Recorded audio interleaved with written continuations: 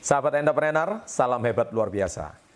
Pada kesempatan kali ini, saya akan membahas sebuah topik yang sangat penting, yaitu bagaimana mencari kawan dan mempengaruhi orang lain.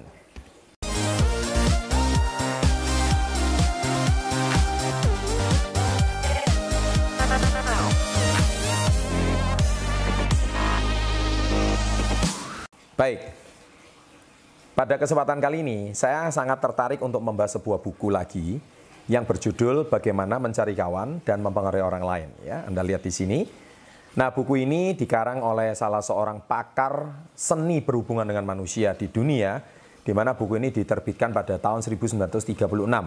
Jadi buku ini berumur hampir 80 tahun di dunia ini. Buku ini sudah mengalami cetakan jutaan eksemplar dan sudah dipasarkan di lebih dari 40 negara di dunia dan sudah sangat sukses dan sangat berhasil. Intisari pada cover belakang buku ini, dia membahas tentang ada 10 poin yang sangat penting. Yang pertama, mengeluarkan Anda dari kebiasaan mental buruk, memberikan Anda gagasan baru, visi baru dan ambisi baru. Yang kedua, membuat Anda mudah dan cepat berkawan. Yang ketiga, meningkatkan popularitas Anda. Yang keempat, memikat orang lain mengikuti cara berpikir Anda. Yang kelima, meningkatkan pengaruh, prestis, bagaimana Anda itu bisa menyelesaikan segala sesuatu. Yang keenam, memungkinkan Anda memperoleh klien dan pelanggan baru. Yang ketujuh, meningkatkan kemampuan Anda dalam memperoleh penghasilan yang lebih besar. Yang kedelapan, menjadikan Anda wiraniaga, manajer, dan eksekutif yang lebih baik. Yang kesembilan, menjadikan Anda pembicara yang lebih baik dan menyenangkan dan disukai orang. Dan yang kesepuluh, membangkitkan antusiasme di antara rekan bisnis. Nah, saya di sini akan belajar meringkas apa yang Anda bisa pelajari dari buku ini. Yang pertama, teknik-teknik dasar dalam menangani manusia. Kalau Anda tidak tahu teknik dasar bagaimana cara berhubungan dengan manusia, Anda sendiri di sini tidak akan paham bagaimana manusia itu bisa sukses. Di sini ada tiga jenis prinsip yang harus Anda ketahui. Prinsip yang pertama adalah jangan pernah mengkritik, jangan pernah mencerca atau mengeluh. Nah, di sini saya coba mengambil satu contoh, yaitu bahwa Theodore Roosevelt itu pernah suatu hari mengkritik Presiden Taft ya di situ.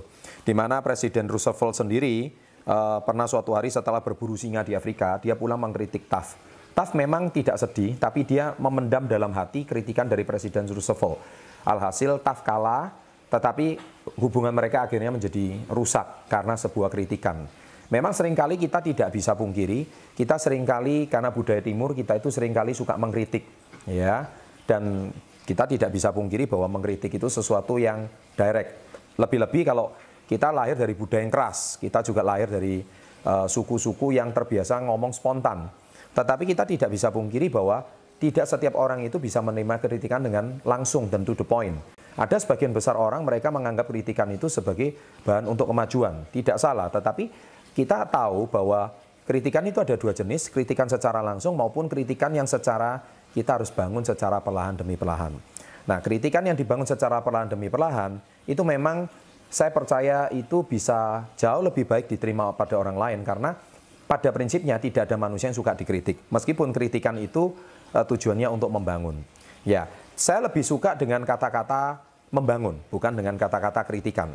Saya kira kalau kata-kata membangun itu lebih bisa diterima dan tujuannya itu pasti, yaitu apa? Demi masa depan yang lebih baik. Nah, prinsip yang kedua yaitu berikan penghargaan yang jujur dan tulus. Saya, saya percaya manusia itu punya 8 jenis kebutuhan. Kebutuhan yang pertama yaitu kesehatan, makanan, tidur, barang yang bisa dibeli dengan uang, kehidupan di alam baka menurut Dale Carnegie, kepuasan seksual menurut uh, Dale Carnegie, kesejahteraan anak-anak, dan yang terakhir yaitu menjadi orang penting. Nah, menurut Dale Carnegie, menjadi orang penting itu merupakan salah satu kebutuhan dasar manusia. Ya, kalau kita mau pakai contoh di buku tersebut, Anda mungkin masih agak bingung bagaimana Dale Carnegie memberikan penghargaan kepada setiap orang. Tetapi kalau kita mau analogikan dengan contoh sekarang seperti contohnya Facebook ya. Kalau Anda update status yang like itu contohnya banyak banget, itu membuat diri Anda merasa dihargai. Nah, itu salah satu contoh adalah bahwa manusia itu sangat suka sekali dihargai. Ya, contoh kalau Anda misalkan juara, Anda mendapatkan sebuah medali, itulah manusia suka menjadi orang penting. Makanya Berikan penghargaan yang tulus itu merupakan sesuatu yang sangat luar biasa, prinsip dalam teknik menangani manusia. Dan yang ketiga adalah bangkitkan minat pada diri orang lain. Jadi bangkitkan minat pada diri orang lain. Jadi contohnya begini, kalau Anda ingin mendapatkan follower, Anda ingin mendapatkan pengikut, salah satu contoh adalah apakah Anda hari ini bisa melihat dari sudut pandang dia? Yaitu sudut pandang dia itu adalah apa? Yaitu bagaimana uh, kita bisa memenuhi kebutuhannya. Contoh, dia butuhnya apa, kita bisa berikan solusinya. Dia butuh apa, kita bisa berikan solusinya. Maka saya percaya, kalau Anda bisa memberikan solusi atas kebutuhan orang lain, maka Anda akan memiliki pengikut. Nah, ketika Anda sudah memiliki pengikut, saya percaya di prinsip ketiga ini Anda bisa membangkitkan minat pada diri orang lain. Nah, itu teknik-teknik dasar di bab-bab awal yaitu di buku Bagaimana Mencari Kawan dan Mempengaruhi Orang Lain. Nah, kemudian yang kedua adalah enam cara membuat orang lain segera menyukai Anda. Nah, di sini ada enam prinsip juga bagaimana membuat orang lain segera menyukai Anda. Yang pertama, prinsip pertama, jadilah sungguh-sungguh berminat terhadap orang lain. Kalau Anda hari ini pengen mempunyai teman yang tulus dan bagaimana Anda bisa mempengaruhi dia, pastikan Anda banyak mendengar, bukan banyak berbicara. Anda banyak mendengar apa yang dia butuhkan. Dengan Anda lebih banyak mendengar, saya yakin sekali bahwa Anda akan sangat mengerti apa yang dia butuhkan. Nah, yang kedua, tersenyumlah. Banyak orang menganggap ini kekuatan yang remeh. Anda lihat pemimpin besar di seluruh dunia, mereka pasti murah senyum. Orang yang murah senyum adalah orang yang mudah diterima oleh orang lain. Karena senyum adalah bahasa yang universal. Anda boleh berbeda agama, Anda boleh berbeda suku, Anda boleh tidak mengerti bahasa asing, tapi Anda cuma mengerti satu bahasa universal, yaitu smile, senyum. Ketika orang sudah tersenyum sama Anda, Anda tahu orang itu sedang ramah dan menyambut Anda. Nah yang ketiga adalah prinsip ketiga, mengingat nama seseorang adalah hal yang mengesankan dan paling penting bagi orang itu dalam bahasa apa pun.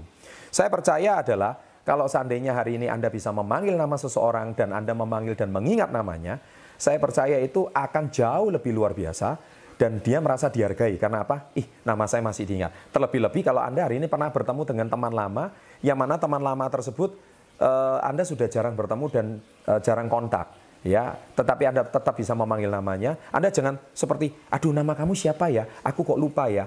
Uh, memang orang tidak tersinggung, tapi jauh lebih menyenangkan, ya. Kalau seandainya Anda bisa memanggil namanya. Terlebih-lebih kalau Anda hari ini uh, Anda bisa langsung menyebut nama seseorang, ya. Padahal Anda belum kenal dengan dia. Apa kabar dengan ibu? Uh, Yayu contohnya ya. Padahal loh, bagaimana Anda bisa tahu nama saya? Waduh, Anda kan orang luar biasa. Anda kan orang terkenal, semua orang tahu nama Anda. Nah, itu sesuatu yang menyenangkan orang lain. Nah, Anda harus menguasai seni ini.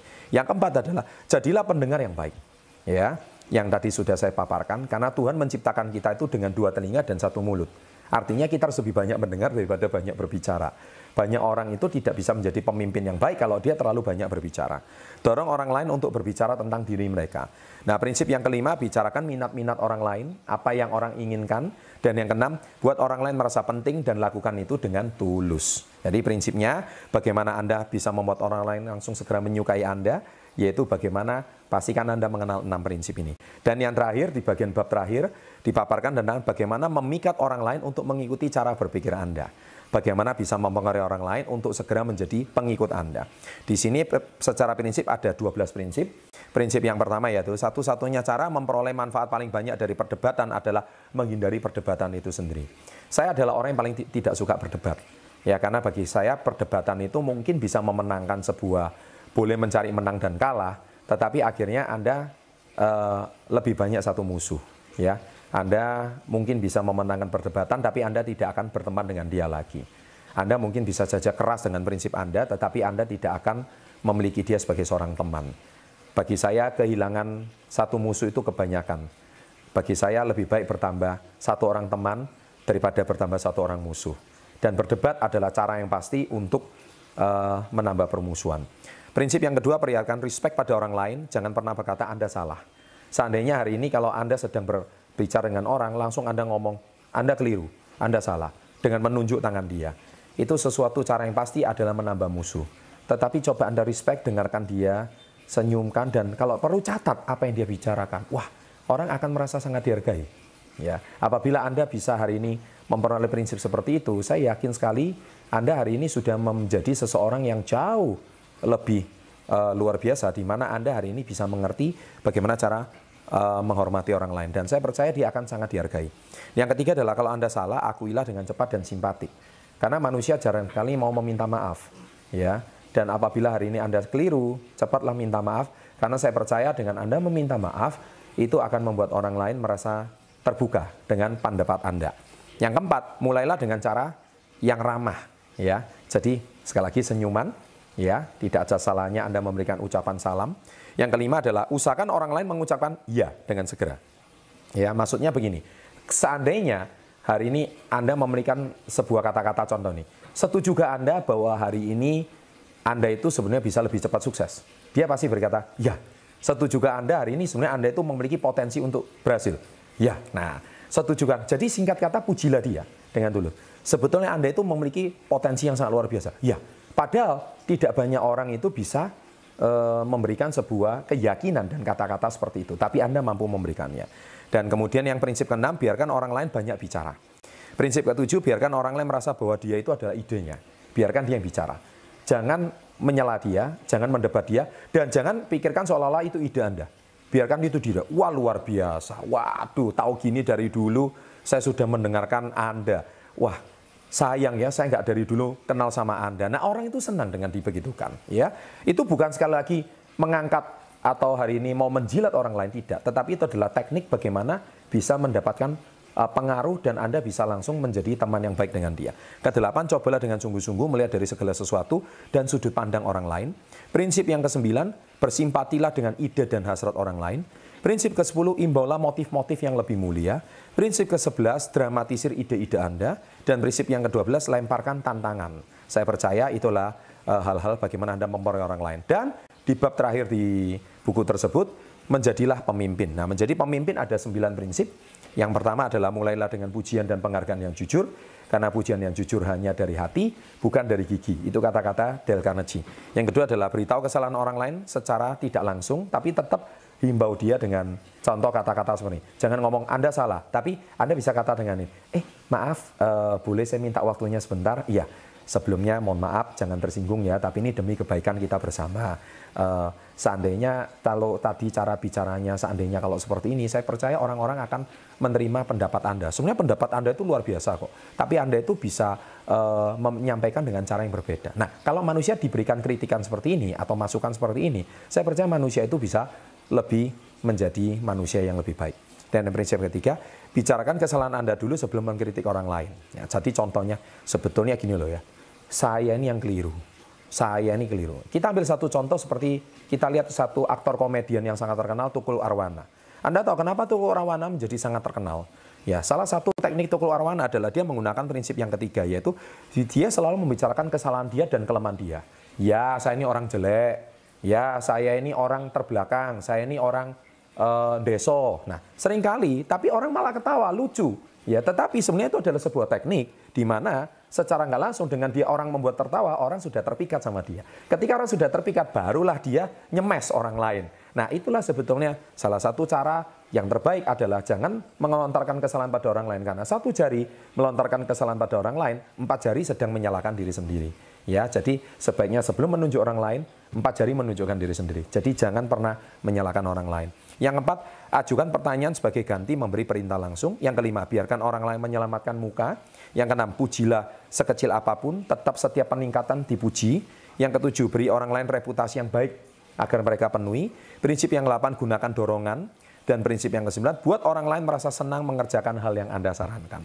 Nah, saya percaya hari ini sembilan prinsip tersebut mengakhiri bagaimana anda didorong untuk menjadi seorang pemimpin. Semoga ringkasan daripada buku ini bisa uh, menambah minat Anda untuk membaca buku ini. Anda bisa dapatkan buku ini di toko buku terdekat dan saya percaya itu bisa menambah wawasan dan pengembangan diri Anda. Sukses untuk Anda, salam hebat luar biasa.